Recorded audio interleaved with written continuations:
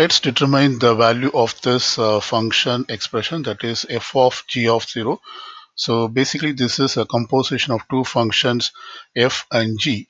And we are going to uh, find this using the table values for g of x as well as the given uh, function that is the graph of the function f of x.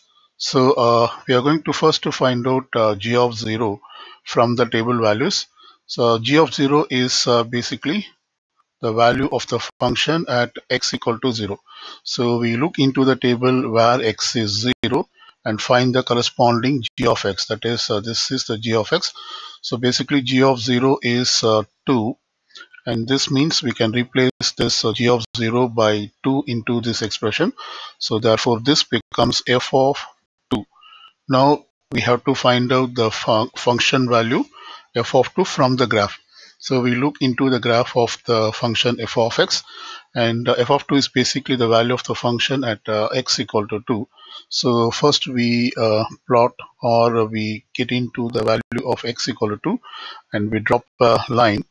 Uh, so the graph uh, exactly intersects at uh, the value y equals negative 2.